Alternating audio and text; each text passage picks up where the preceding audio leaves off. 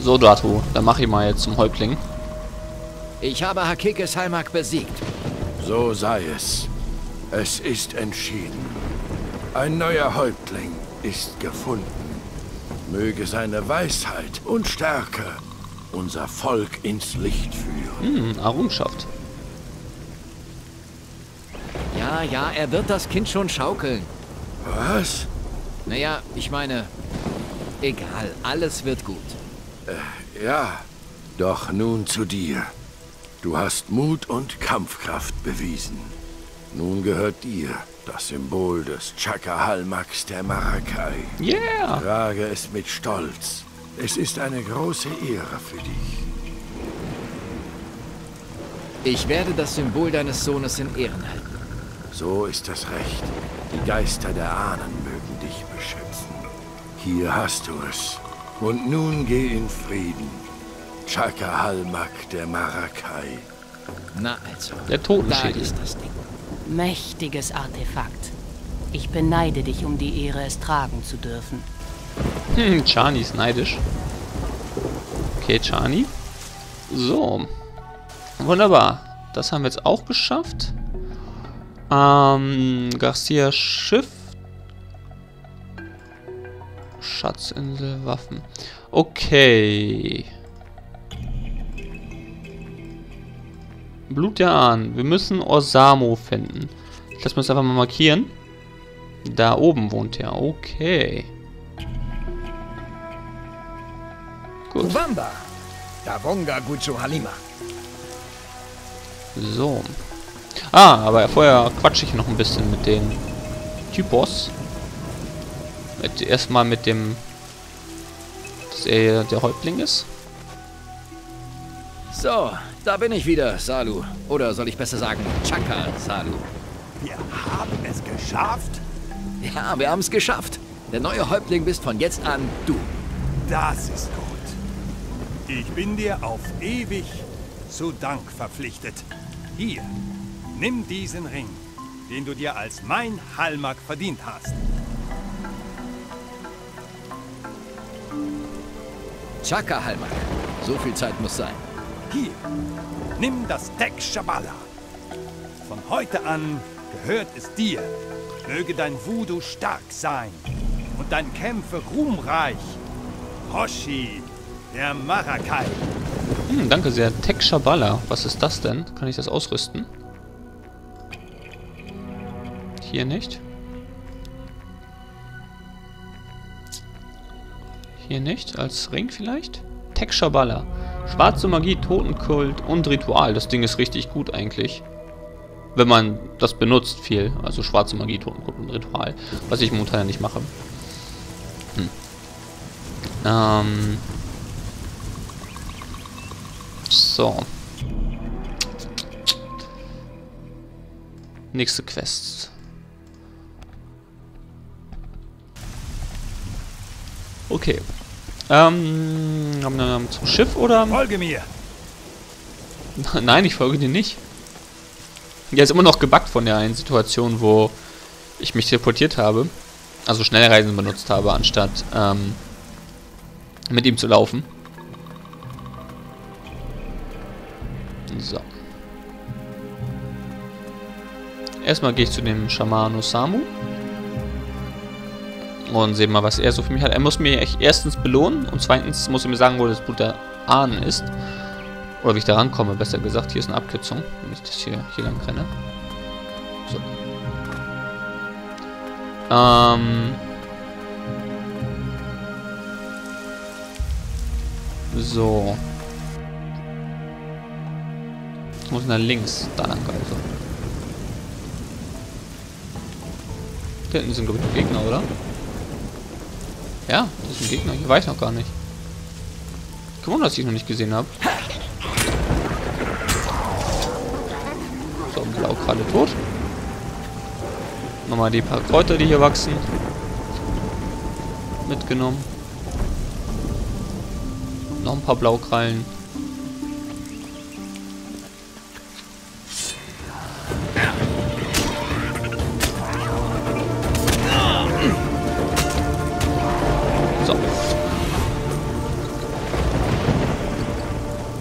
Shani ist auch noch da, hinter mir. Hier muss ich, glaube ich, hoch. Ja, hier muss ich hoch, wenn ich zu ihm will. Viel Zeug auf seinem kleinen Plateau wächst. Oder um sein Plateau besser rum, gesagt. Goldklee.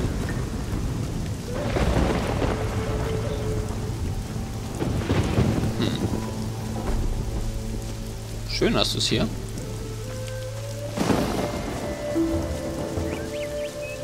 Schamanen gefunden. Und das ist auch ein Bett und ein Voodoo-Altar. Und eine Kiste, die ich erstmal aufmachen muss. Weil ich das einfach gehört. So. Erstmal gucken, wo wir hier...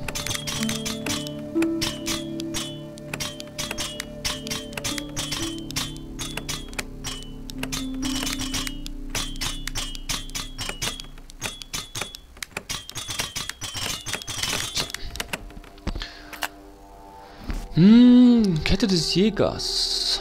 Proviant und Tragen des Rituals. Okay, kein Problem. Wieder ein neues Gesicht. Bist du ein Hoshi, Fremder? Oder willst du auch nur zerstören? Wie die anderen Gutschos? Hm, ich will euch unterstützen. Ich bin ein Freund der Shaganumbi. Ich bin ein Freund der Shaganumbi. Das hier ist Chani, die Tochter des Bakir, Häuptling der Shaganumbi. Aloha, Chani Kita Valoa Samuchaka. Chi, Aloha, Chanki. Ein Hoshi der Shakanumbi ist auch ein Hoshi der Marakai. Aber ich werde dich beobachten. Du bist Fremden gegenüber ganz schön misstrauisch. Zwei Gutschos kommen zu den Marakai. So prophezeit es die Legende. Der eine ist ein Hoshi, ein Freund. Der andere Kabuki, der Feind. Darum sehe ich sie mir genau an. Hm. Wie willst du Freund und Feind unterscheiden? Oder was ist das für eine Legende? Was ist das für eine Legende? Die Legende sagt, Kabuki bringt den Tod. Roshi geht durch das Feuer und vertreibt den Tod durch die Macht der Hike, unserer Ahnen. Verstehe. Du erkennst deine Freunde also an ihren Taten. Hm. Ich habe die Gräben, eu Gräben eurer Ahnen geheilt. Ich habe die Gräber eurer Ahnen geheilt. Die Masken befinden sich nun wieder an ihrem Platz. Damit hast du den Marakai eine große Ehre erwiesen. Dein Handeln soll nicht unbelohnt bleiben. Nimm diese legendäre Rassel als Zeichen der Freundschaft. Oh, die zerbrochene Rassel. Vielen Dank. In dem Ahnengrab vor dem Dorf habe ich nackte Leichen gefunden. Es waren zwei Eingeborene dabei, aber die meisten waren weiß. Das ist mir ein Rätsel, Gucho. Es gab wohl Bambule zwischen Marakai und Piraten. Ja, wahrscheinlich. Hm, Corriente schickt mich. Corrientes schickt mich. Er sagte, du wüsstest etwas über das Blut der Ahnen. Warum macht dieser Gucho das? Er hat das Blut der Ahnen bereits von mir erhalten. Sobald er es einnimmt, kann er die Feuerwand durchqueren. Hm, wieso hast du es ihm gegeben? Wieso hast du es ihm gegeben? Er hatte die Macht der Hike bei sich. Die Knochenhand des Tempels, der im Wasser schwimmt. Was? Er hatte die Knochenhand aus dem Wassertempel? Das kann nicht sein. Captain Garcia hat sie im Besitz. Du sprichst unheilvolle Worte, Gucho. Wenn wahr ist, was du sagst, dann ist der Anführer der Blauröcke Garcia? Oh, Mist. Was sollen wir jetzt tun? Ich helfe dir, Gucho. Nimm auch du das Blut der Ahnen an dich. Geh zu dem Blaurock und rücke alles an seinen Platz. Das ist kein Blaurock. Dann geh und verleih deinen Worten Wahrheit. Okay. Wegen der nackten Leichen. Wegen der nackten Leichen. Ich glaube, ich kann mir jetzt denken, was passiert ist. Der Kabuki hat den Blauröcken die Kleider gestohlen. Ja, ich habe die richtige Expedition gefunden. Ich werde mich um die Toten kümmern, Hoshi. Okay, die nackten Leichen haben wir jetzt auch soweit geklärt. Oha, jetzt geht's rund. Jetzt haben wir viel, viel rausgefunden.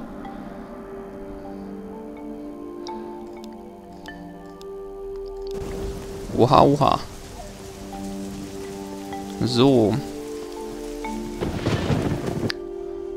Hier ist also der Schamane. Logbuch. Garcia Schiff, Stahlbad Schatz.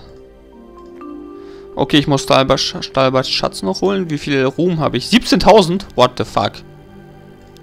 Okay. So, Klingen 10. Okay, jetzt werde ich erstmal ein paar Sachen machen. Bevor ich weiter in dieser Hauptquest mache. Werde ich erstens Garcias Schiff holen. Zu Garcias Schiff gehen. Komme ich da am schnellsten hin? Entweder von hier oder von da. Ich werde mal von dem Dorf ausgehen. So. Okay, er ist nicht mehr da. Das war klar. Und auch die ganzen Typen sind nicht mehr da.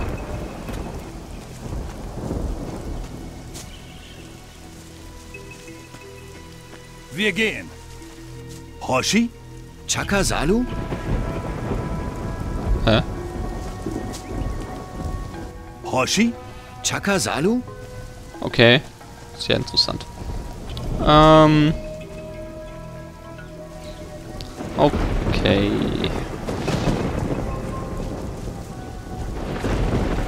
Okay, okay. Machen wir erstmal die Schiffsquest. Dann muss ich zurück zum Lager, weil ich mit dem Schiff wegreisen werde, um mir erstens die stärkste Klingentechnik beibringen zu lassen. Ähm, zweitens werde ich Stahlbad Schatz heben. Und drittens werde ich diesen Typen aus der ähm, von der Toteninsel Bones werde ich äh, ja wieder mit seiner Seele vereinen oder mit seinem toten Part, der da rumeiert in dem Totengebiet. Und dann werde ich erst weitermachen. In der Hauptquest. Sollte vielleicht so 10, 15 Minuten dauern, je nachdem wie viel wir bei Stahlbad Schatz machen müssen.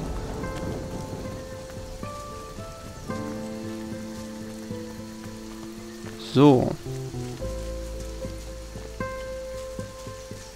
Die Blutfussel habe ich übersehen. Laufe ich richtig? Ja, ich laufe richtig. Wunderbar.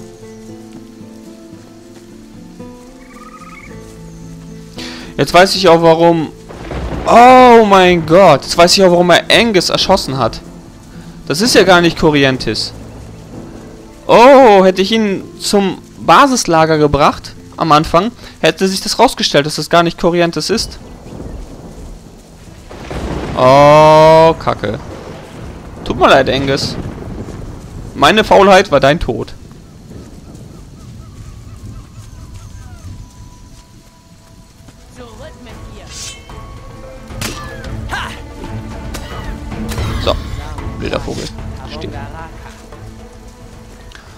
Ah, welch ein Mist. Klar, der hat ja die angreifenden Piraten ja entdeckt.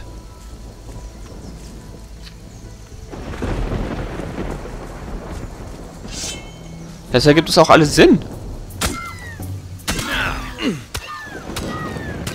So. Hat das alles gar keinen Sinn ergeben, warum ihn einfach abgeknallt hat.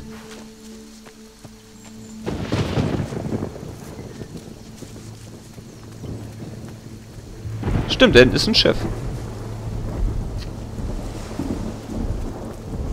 Nur, da muss, müssen ja auch alle Leute müssten dann ja auch zu ihm gehören. Oder waren das jetzt Corrientes Leute? Irgendwie ergibt es keinen Sinn. Warum würde mir so einer von seinen eigenen Leuten sagen, wo sein Schiff ist? Das ergibt irgendwie gar keinen Sinn.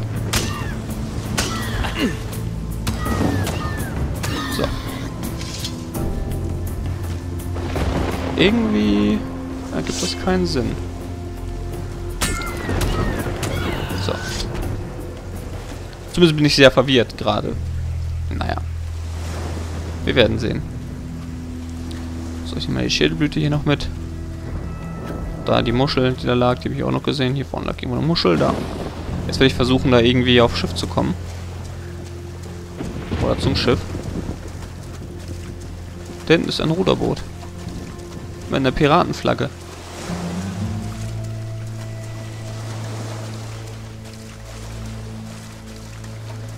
Hm, vielleicht hätte ich es schon früher herausfinden können.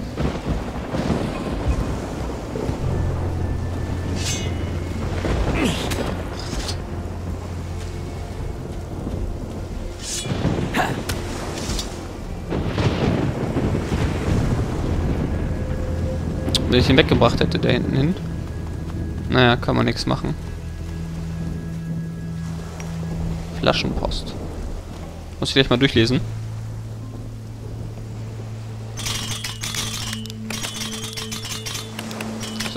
Schauen wir jetzt mal, wo wir hier... So.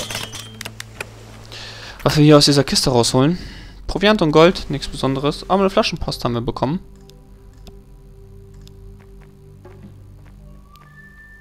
Doch eigentlich hier runter sein, oder?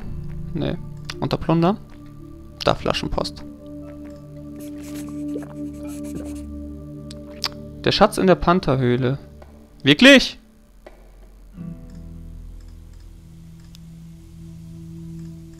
Da gibt es auch nochmal einen Schatz. Ähm. Das Karte markieren. Ja, wirklich, da ist auch noch ein Schatz drin. Okay, muss ich mal bei Gelegenheit holen. Das Boot hier benutzen? Eine Muschel. Zum Schiff rudern. Ich schneid dich in Streifen. Ah, das war schlecht. Au. So.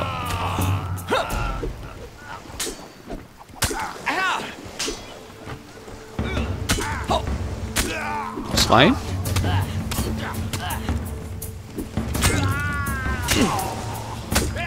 Drei. Wo ist denn der vierte?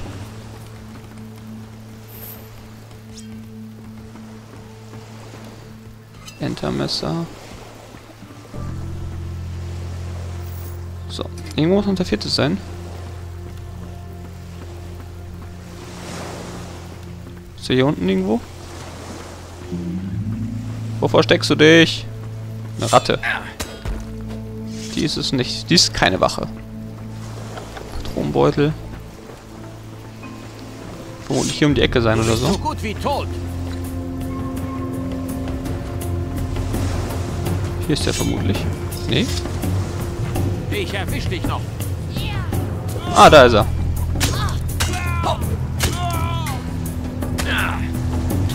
Na komm. Wirf ich ihn einfach mit dem Dolch ab. Capere Garcia Schiff. Habe ich. Gute Sache. Ich habe auch schon das meiste Lech mitgenommen von seinem Zeug. Was hier rumlag. Oben nochmal eben in die Kapitänskajüte schauen. So. Hab ich noch irgendwas in das? Ja, eine Enterpistole. Und Grog. Auch noch eine Schatzkarte. Mal sehen. Nichts Interessantes. Ah, hier. Beim letzten Landgang auf Antigua habe ich hinter dem großen Wasserfall im Felsen eine Höhle entdeckt. Am Ende der Höhle habe ich meinen Schatz vergraben. Der Eingang kann nur durch das Losungswort Garcia ist der Größte geöffnet werden. Oh, okay. Der Kerl hat echt einen an der Waffe. Immerhin hat er den Grabungsort aufgezeichnet. Das schreibe ich mir besser mal auf. Also hätte ich den Schatz auch so Auf finden der letzten können. Seite steht noch etwas über die Crew. Der schwarze Hund hat sie alle gegen mich aufgehetzt. Eine Meuterei ist kaum noch zu verhindern. Trotz allem werde ich mich nicht davon abhalten lassen, den Tempel des Feuers zu finden. Die werden mich kennenlernen. Okay. Garcias Logbuch 100. Ruhm dafür gegeben. Gut, gut, gut. Also, damit haben wir auch wieder ein paar Sachen... Eine Kausalkette zusammengestellt. Zwischen ein paar Sachen. Oh, direkt hier ist auch noch ein Schatz. Oder wir mal zur Bucht zurück. Der ist auf der anderen Seite. Da, hinten. Ist da noch der Schatz? Drei Schätze muss ich noch finden. Pantherhöhle. Diesen hier und den anderen.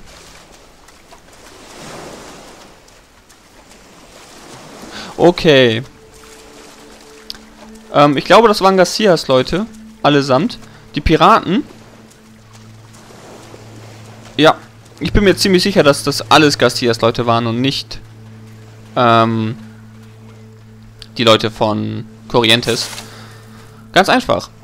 Die Piraten haben gemäutet, also mussten die Piraten sterben. Haben wir gemacht für einen. Die Piraten haben das Schiff gekap ähm, besetzt, sein Schiff. Die Meutenden, die haben wir gerade getötet. Das heißt, wir haben sein Schiff sauber gemacht. Für den einen. Ähm. Dann wollen wir doch bald Ja. Ja. Wir helfen gerade eigentlich Herr Garcia. Naja, eigentlich helfen wir uns selber. Rubingold, Priestermaske, silberner Teller, blablabla, massig Manis. Gut. Ähm, jetzt will ich hier zur Bucht am Anfang, also muss ich über die Lagerstätte dahin.